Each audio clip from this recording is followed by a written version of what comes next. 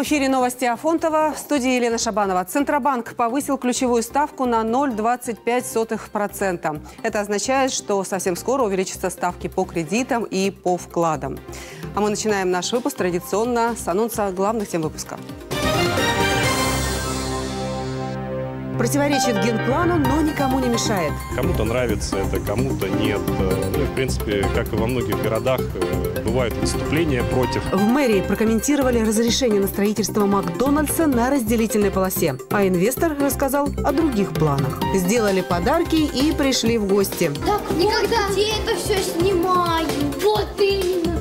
Вот такого огроменного Я тоже такой видела. Вот, вот, вот точь-в-точь. Дед Морозов становится все больше. К нашей акции присоединились новые волшебники. Вместе мы поздравим с Новым годом одиноких бабушек и дедушек. Николай Алюнин готовится к новой операции и строит планы на новые встречи с товарищами по сноуборду. Приду голодный, безумно, просто буду, и, буду рвать и, и метать. Это так оно и точно есть. Ну пусть думают, пусть боятся. Сегодня, наконец-то, стало известно, сколько мы будем платить за вывоз мусора. Итак, тарифы следующие. 80 рублей для жителей левого берега, 88 для жителей правого, а для частного сектора 125 и 137 рублей. И все это с человека.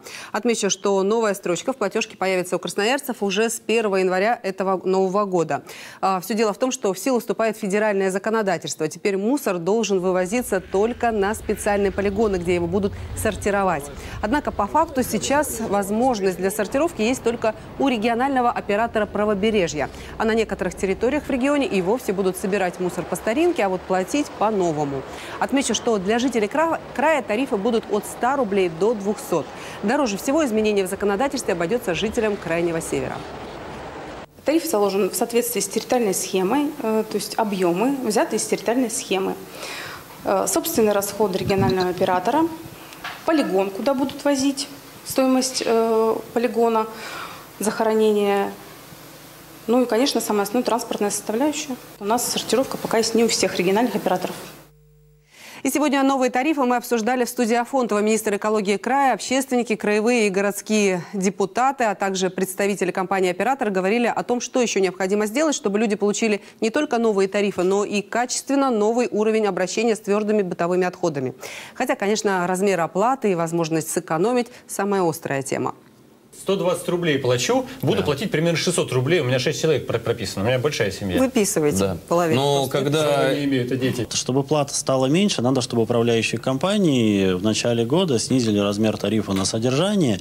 И э, мы мониторили ситуацию в тех регионах, где уже эта реформа началась. К сожалению, не везде это произошло, и людям приходится обращаться в надзорные органы, людям приходится обращаться где-то даже в суд. То, чтобы перераспределить средства, нужно собрание. А чтобы просто да, да, снизить, собрание не нужно, Точно. только добрая воля управляющей компании. А в будущем мы планируем на первом этапе вводить э, двойную систему сортировки в два бака. Это отдельно пищевые, все то, что можно переработать. Правый берег, многоквартирный дом, 87 рублей 51 копейка. Вы ко мне приходите, я говорю, я буду на два бака сортировать. Ну, весь дом, я, так, я весь дом буду. Да. Сколько вы с меня будете брать тогда? Ну, это еще нужно рассчитать. Ну, плани, плани, планируем, что где-то около 30% снижения будет. Та часть населения, которая особенно малообеспеченная, это многодетные семьи, вот на, на них скажется реформа. И на самом деле та доля социальной поддержки, которая на сегодняшний день предусмотрена, но она мала, она не покрывает все, ну, тот уровень э, роста, который на сегодняшний Часть день платить есть. не будет, вы считаете? Я вы? думаю, да. Ток-шоу «Место встречи», посвященное мусорной реформе, смотрите на Афонтово в воскресенье в 21.00. И сегодня же городские чиновники и депутаты обсудили тариф на проезд в общественном транспорте. Правда, с самых первых минут встречи выяснилось, что чиновники мэрии, ни чиновники мэрии, ни сами народные избранники повлиять на тариф не могут. Это полномочия Краевого министерства. Тем не менее, оставаться в стороне представители городских властей посчитали невозможным. Поэтому подготовили в адрес краевых властей письмо, в котором предложили не ограничиваться простым повышением тарифа, а решить проблему комплексно. Например, посчитать, сколько зарабатывают или теряют перевозчики перевозчики при существующем тарифе, чтобы разговаривать с ними о стоимости проезда более предметно. Ну, странно, что этого еще до сих пор не было сделано. Есть идея создать э, муниципального оператора, которому будут поступать все сборы с пассажиров и который будет платить перевозчикам, исходя из количества и качества выполненной ими работы. ну и так далее. Все предложения будут направлены в Министерство транспорта. Хотели бы, чтобы край понимал, что просто так взять и решить эту проблему повышением тарифа на перевозку не нужно. Нужно проводить комплексную и оценку, и проводить э, комплексные мероприятия по, по проведению тех действий, которые позволят как можно меньше увеличить этот тариф. В Министерстве транспорта пообещали решить вопрос с тарифом до конца года. Работа над этим идет, но в какой она стадии не пояснили. Хотелось бы напомнить чиновникам, что до конца года осталось вообще-то две недели. Сегодня же в мэрии прокомментировали строительство Макдональдса на разделительной полосе улицы Авиаторов, которое на днях одобрил глава города Сергей Еревин. Согласно генплана, на месте ресторана быстрого питания должна быть многоуровневая развязка и трамвайная линия. Против строительства ресторана на этом месте выступили депутаты городского совета. Тем не менее, решение было принято в пользу Макдональдса по ряду причин. Во-первых, строительство развязок в ближайшей перспективе не планируется, а содержать такой большой газон городу накладно. Во-вторых, закон не запрещает строить на этом месте ресторан, предназначенный для автомобилистов. И в-третьих, по словам чиновников, ресторан займет лишь 450 квадратных метров площади и не будет мешать ни движению по улице Авиаторов, ни реализации генплана. Он должен располагаться таким образом, что в случае необходимости реализации генерального плана по генеральному плану многоуровневых развязок, чтобы он не препятствовал созданию многоуровневых развязок. Это первое было в техническом задании. Второе, чтобы он не препятствовал развитию трамвая, когда мы будем создавать трамвай тоже согласно генерального плана на этом земельном участке. Чтобы объект был вписан таким образом, чтобы не мешать ни одной из перспектив развития на этом участке. Также в мэрии прокомментировали информацию о расторжении договора с компанией «Инфоком», которая обслуживает платные стоянки на центральных улицах. По словам Логинова, эта информация преждевременна. Расторгать договор с «Инфокомом» бессмысленно, потому что нет ничего, чем можно было бы его заменить. А бросать проект платных парковок на самотек мэрии не будут. Сейчас главная проблема – это отсутствие юридической базы, которая позволит моментально собирать штрафы с нарушителей. Сейчас мэрии как раз занимаются разработкой законодательства. Кто может прийти на смену компании «Инфоком» не сообщают. Без законодательства соответствующего, которое бы позволяло автоматически выписывать штрафы, мы уже работали. И сегодня обвинять одну компанию «Инфоком», что вот они неэффективно работают, наверное, тоже нельзя. Потому что для того, чтобы работать эффективно, надо иметь полную законодательную базу. Поэтому не будет законодательной базы. Как бы ни называлось это учреждение, компания, как бы ни, ни называлось это, э, там, не знаю, МКУ там, или еще как-то по-другому, э, эффект этой работы будет точно такой же. И возвращаясь к теме Макдональдса, сегодня наш корреспондент встретился с руководителем строек сети быстрого питания. По его словам, говорить о новом ресторане на авиаторов еще слишком рано. Я думаю, что о размещении именно Макдональдса на этом месте пока еще преждевременно говорить. А, ну, там не скроем, да, там работа ведется нашими партнерами из мэрии. Вот. Э, но пока еще, я говорю, рано это комментировать. Ну, пока еще в работе эта площадка. Не сто процентов, что там будет Макдональдс? Ну, сложно еще пока это сказать. Для города это есть и имиджевые, да, там какие-то вещи. Да, плюс все-таки компания Макдональдс один из крупнейших работодателей. Да, и наши проекты как раз дают работу, в том числе и молодежи да, там, студентам, э, кто хочет зарабатывать деньги, но, к сожалению, по тем или иным причинам там не может найти себе работу. Мы с радостью у себя примем Первый ресторан всемирно известной сети на перекрестке Молокова и Шахтеров откроется уже на следующей неделе. В канун Нового года запланировано открытие Макдональдса на, на улице Перенсона.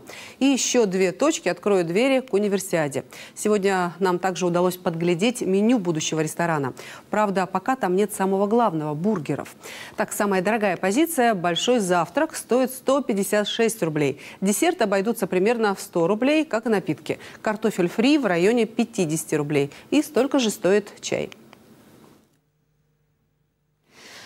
Похищение Европы теперь красуется на другой стороне предмостной площади. Фонтан установили напротив ресторана People's. Также и само пространство возле статуи существенно преобразилось. Здесь установили скамейки и стильные фонари. Перенесли пешеходную зону подальше от проезжей части.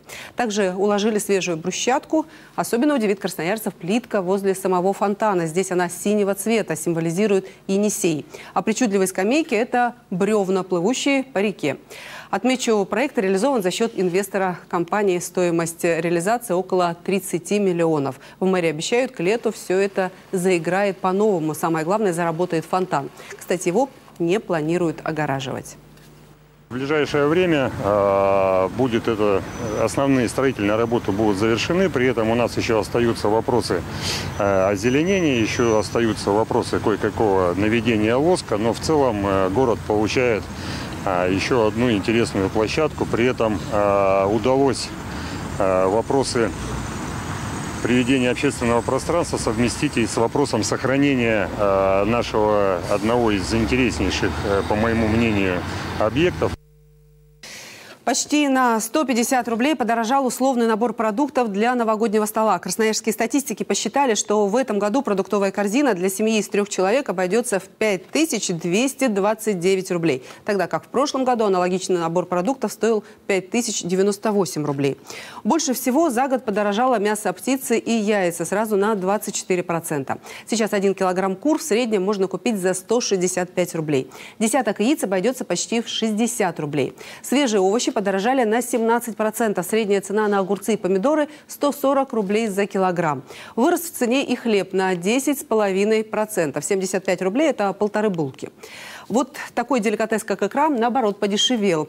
За 200-граммовую баночку лососевой икры, по мнению статистиков, э, производители просят 688 рублей. Снизились в цене и фрукты. Так, например, 1 килограмм бананов можно купить за 79 рублей. А вот сыр обойдется покупателю в 250 рублей за полкилограмма. Условный, в условный набор продуктов для новогоднего стола также входит сливочное масло 113 рублей, бескостная говядина 459 картофель 24 рубля за килограмм, полкилограмма шоколадных конфет красноярцу обойдутся в 329 рублей. Отечественное шампанское 285, коньяк 753 рубля за 0,5 литра. Мы сегодня обсуждали эту статистику в редакции и пришли к выводу, что экспертам надо чаще пользоваться акциями в крупных супермаркетах, где все перечисленные товары можно периодически купить дешевле. А прямо сейчас афиша на выходные. Они, по прогнозам синоптиков, будут теплыми. Как с пользой провести время, расскажет Екатерина Деревянко. Встретить субботнее утро предлагаем заповедники Столбы. В 10 часов утра от остановки поселок Базайха стартует туристическая прогулка к скальному массиву Воробушки. Сразу предупреждаем, маршрут нелегкий. Несколько километров по глубокому снегу и крутому подъему. Одеваться советуем по погоде. Обувь должна быть обязательно на рифленой подошве. С собой рекомендуем захватить туристические бахилы, запасные носки, горячий чай и бутерброды. В 10.30 в Дивногорске состоится праздничное открытие горнолыжного сезона. В программе «Маскарад», фотоквест, катание на хаске и заезды на снегоходах. В конце вечера запланировано световое шоу. Несколько человек спустятся с горы с огнями. Вход на праздник свободный. В 16 часов горожан приглашают посетить концерт Красноярского духового оркестра. Солисты исполнят узнаваемые джазовые композиции Ирвинга Берлина, Глена Миллера и других. Также прозвучат аранжировки народных песен и классических произведений. Концерт пройдет в Институте искусств. В субботу хоккейный клуб «Сокол» примет на своем льду команду «Челмет» из Челябинска. Игра будет проходить в рамках чемпионата высшей хоккейной лиги. Сейчас наша команда находится на 13-й строчке в турнирной таблице. «Челмет» на 12 месте. Начало матча в 17 часов. Перерыв между периодами среди зрителей разыграют подарки. В красноярских кинотеатрах в прокат вышел фильм «Аквамен». Это история о супергерое из вселенной комиксов DC. Действие картины разворачивается в подводном мире Семи морей. Главный герой – получеловек, полуатлант Артур Карри. Ему предстоит не только столкнуться с самим собой, но и выяснить, достоин ли он быть царем. Необычная экскурсия «Бёрд-вотчинг» пройдет в воскресенье в Студгородке. На ней горожане прогуляются по аллее кормушек и узнают интересные факты о птицах, которые обитают в нашем регионе. Специалисты расскажут, как пернатые выживают зимой в дикой природе и как им можно помочь. Продолжительность экскурсии – два часа. Сбор группы на остановке «Гастроном». В театре Пушкина премьера спектакля «Опасные связи». В центре сюжета – амурные похождения Виконта де Вальмона, интриги и много фривольных сцен. Зрителя ждет красивый спектакль с возрастным цензом 18+. Екатерина Деревянко, Афонтова, Новости. Николай Алюнин готовится к новой операции. Когда он планирует встать на сноуборд и почему он называет себя голодным, расскажем после рекламы.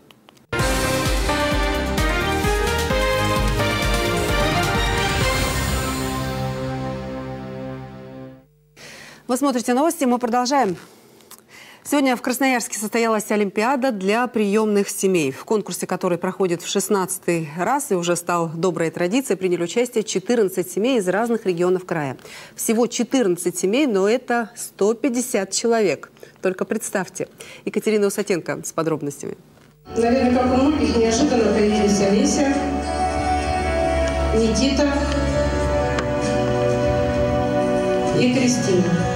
И так может быть только в приемной семье. За четыре месяца четыре ребенка. Сегодня они исполняют частушки, декламируют стихи, показывают презентации и рассказывают о своих победах. Истории этих семей во многом похожи. Взяв ребенка из детдома, они уже не могут расстаться. Так случилось и в семье Науман. Их первые усыновленные мальчишки уже выросли и ушли из родительского гнезда. А в 2017-м они снова взяли четверых парней из Основоборского детдома. Мы храним в своем сердце, мы все и каждый из нас мама, любимая мама, дороже нет в для нас.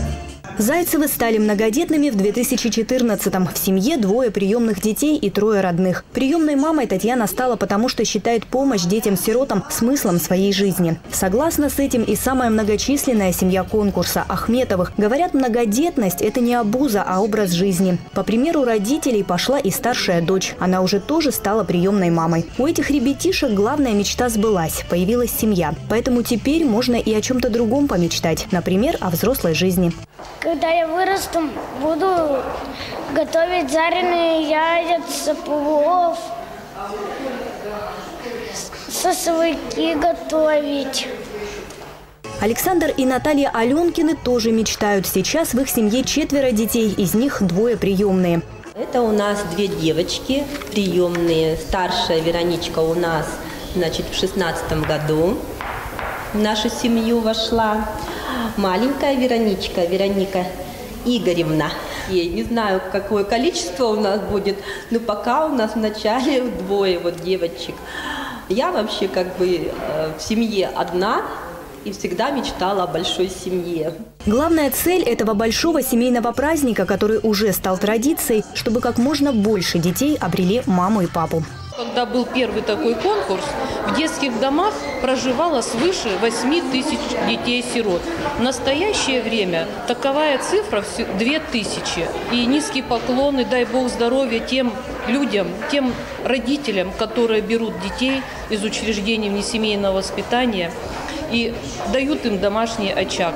Сейчас число семей, принявших детей из детского дома, увеличилось в два раза. Счастье обрели более 12 тысяч детей. Организаторы уверены, дети из детдома, которые выступали сегодня, уже в следующем году будут участвовать в конкурсе уже в новом статусе. Екатерина Усатенко, Евгений Иванов, Афонтова. Новости.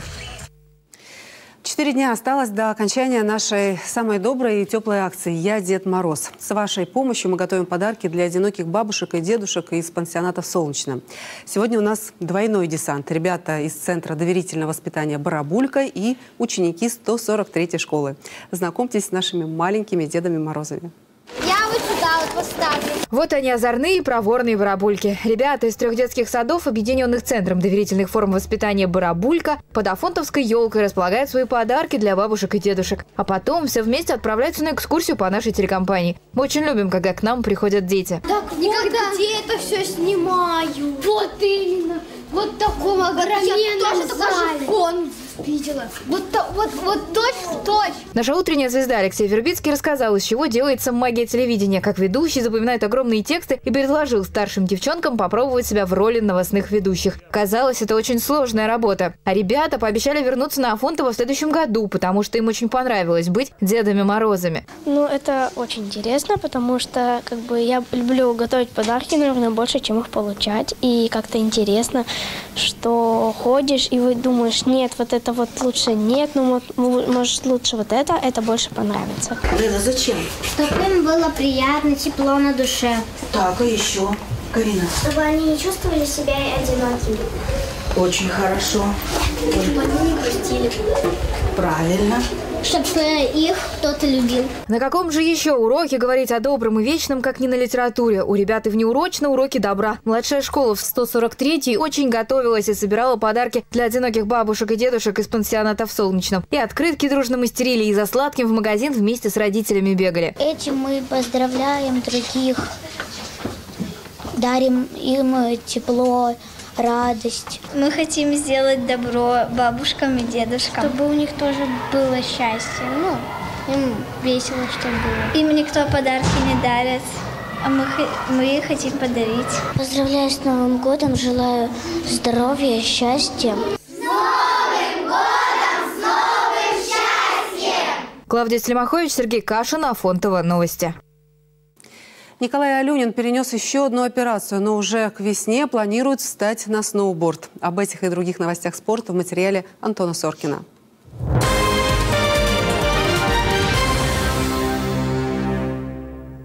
Голодный до побед. Николай Алюнин не оставляет надежд вернуться в большой спорт. Не так давно в Германии сноубордист перенес третью операцию на ноге. Напомним, тяжелую травму спортсмен получил на Олимпиаде в Пхенчхане. В скором времени ему предстоит еще одно хирургическое вмешательство. Я приехал в Германию еще раз. Мне э, вытащили металл, э, поправили колено вот, и сказали, что одну металлическую конструкцию они э, вытащили, вторую нет, потому что одна кость большеберцовой кости, она не зажила. Консолидация еще не до конца, то есть, ну, произошла. Я, конечно, сильно расстроился. Ну, лежа в палате, я это слушаю, то, что нужно еще раз к ним приехать, еще раз, то есть, сделать операцию. Еще у меня порванная крестообразная связка полностью. Несмотря на затянувшееся лечение, Николай не опускает рук. В случае удачной реабилитации встать на сноуборд он планирует уже этой весной, недвусмысленно намекнув топовым сноубордистам, к чему им готовиться. Приду голодный безумно, просто буду, и, буду рвать и, и метать. Это так оно и точно есть. Ну пусть думают, пусть боятся. Подробный разговор со сноубордистом, в том числе и как ему пришлось искать деньги на операцию и чем планирует заняться в случае завершения спортивной карьеры, смотрите в ближайшем выпуске большой спортивной программы во вторник, 18 декабря. Волейболистки Енисея в шаге от завоевания Кубка России. В полуфинальном матче турнира Красноярки в четырех партиях победили одного из грандов российского волейбола «Динамо Казань». Сегодня ночью по красноярскому времени состоится финал. В Калининграде за трофей Енисей поспорит с действующим чемпионом страны московским «Динамо». Хоккейный «Сокол» продолжает громить соперников в «Кристалл-арене». Накануне красноярцы нанесли крупное поражение горняку из Башкоркостана. Только додавить соперника сибиряки смогли лишь в заключительном периоде. После 40 минут игрового времени счет на табло был равным 2-2. Ну а в третьем игровом отрезке «Сокол» продемонстрировал то, как нужно реализовывать свои моменты. Хозяева еще четыре раза огорчали вратаря соперника. 6-2. В субботу подопечные Александра Титова сыграли играют с Челметом. Начало матча в Кристалл-арене в 17 часов. В этот же день игру проведет и хоккейный Енисей. В новой крытой арене команда Ивана Максимова примет старт из Нижнего Новгорода. Для красноярцев этот матч будет носить принципиальный характер. Именно волжане выбили сибиряков из розыгрыша Кубка мира в четвертьфинале, нанеся сокрушительное поражение со счетом 4-0. Начало игры в 13 часов. Ну а в воскресенье на свой домашний матч приглашает баскетбольный Енисей. В рамках единой лиги в арене «Север» команда Олега Акулова примет латвийский клуб ВФ. Съемочная группа Афонтова спорта и группа поддержки Красноярского клуба подготовила для болельщиков небольшую развлекательную программу. Антон Соркин, Михаил Ткачук, Афонтова спорт. К этому часу все. Сообщайте свои новости по телефону 285 14 14. Пишите нам в Viber, WhatsApp или Telegram. А также подписывайтесь на страницы Афонтова в социальных сетях. В студии для вас работала Елена Шабанова. Хорошего всем вечера. Всего самого доброго. До встречи.